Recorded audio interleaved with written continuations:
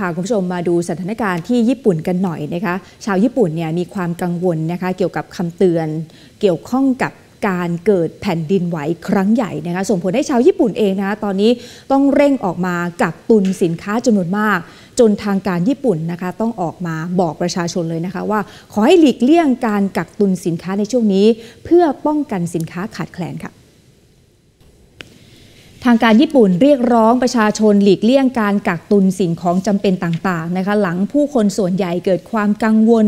ถึงความเป็นไปได้ที่จะเกิดแผ่นดินไหวครั้งใหญ่ หรือว่า mega quake จนทำให้ความต้องการอุปกรณ์บรรเทาภัยพิบัติ และสิ่งของจำเป็นในชีวิตประจำวันนั้นเพิ่มสูงขึ้นค่ะ โดยก่อนหน้านี้นะคะ ทางสำนักงานอุตุนิยมวิทยาญี่ปุ่น ได้ออกคำเตือนดังกล่าวเป็นครั้งแรก โดยระบุว่ามีแนวโน้มว่าจะเกิดแผ่นดินไหวครั้งใหญ่ค่ะ หลังเกิดแผ่นดินไหววัดขนาดความรุนแรงได้ 7.1 แมกนิจูดในพื้นที่ภาคใต้ของประเทศเมื่อวันพฤหัสบดีที่ผ่านมา ซึ่งทำให้มีผู้บาดเจ็บเกือบ 20 ราย รวมทั้งเกิดเหตุแผ่นดินไหวขนาด 5.3 ซ้ำอีก ถ้าเราไปดูบรรยากาศในห้างสรรพสินค้าแห่งหนึ่งในกรุงโตเกียวนะคะ ถึงกับต้องติดป้ายขอโทษลูกค้าเลยค่ะ เนื่องจากว่าสินค้าในบางรายการขาดแคลนแล้วนะคะโดยเฉพาะน้ำดื่ม โดยเชื่อว่ามีสาเหตุมาจากการรายงานของสื่อเกี่ยวข้องกับการเกิดเหตุแผ่นดินไหวครั้งใหญ่ขณะที่เว็บไซต์ของรากูเตนอีคอมเมิร์ซรายใหญ่ของญี่ปุ่นนะคะระบุว่า โถส้วมขนาดพกพาเสบียงอาหารและน้ำขวด ติดอันดับต้นๆของรายการสินค้าที่ขายดีที่สุดณขณะนี้ ส่วนผู้ค้าปลีกบางรายตามแนวชายฝั่งแปซิฟิกนะคะระบุว่าความต้องการสิ่งของช่วยเหลือที่เกี่ยวข้องกับภัยพิบัติเพิ่มสูงขึ้นเช่นเดียวกันค่ะ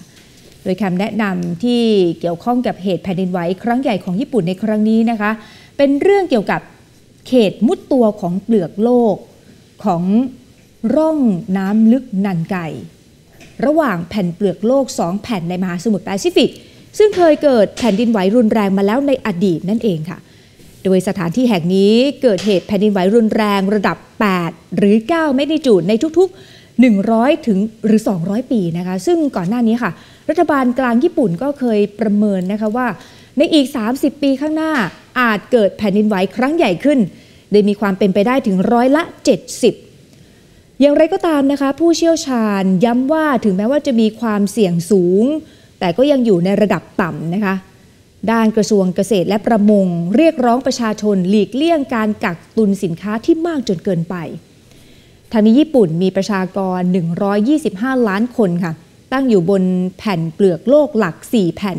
เผชิญกับเหตุแผ่นดินไหวประมาณ 1,500 ครั้งทุกปีนะคะ แต่ว่าส่วนใหญ่เนี่ยเป็นแผ่นดินไหวขนาดเล็กนะ นี่ก็เป็นความวิตกกังวลนะคะของประชาชนชาวญี่ปุ่นที่ตอนนี้ต้องออกมาเร่งกักตุนสินค้าจำนวนมากนะคะ แต่ว่าความเป็นไปได้นะคะที่ทางการประกาศออกมา ว่าจะเกิดแผ่นดินไหวครั้งใหญ่นั้นยังอยู่ในระดับต่ำอยู่นะคะขอบคุณที่ติดตามรับชมรายการ TNN News ข่าวเช้านะคะ อย่าลืมกด subscribe กดกระดิ่ง กดไลค์ กดแชร์ ทุกช่องทางออนไลน์ของทาง TNN ช่อง 16 ค่ะ เพื่อไม่พลาดข่าวสาร รายการสด รวมถึงคลิปวิดีโอที่น่าสนใจอีกมากมายเลยค่ะ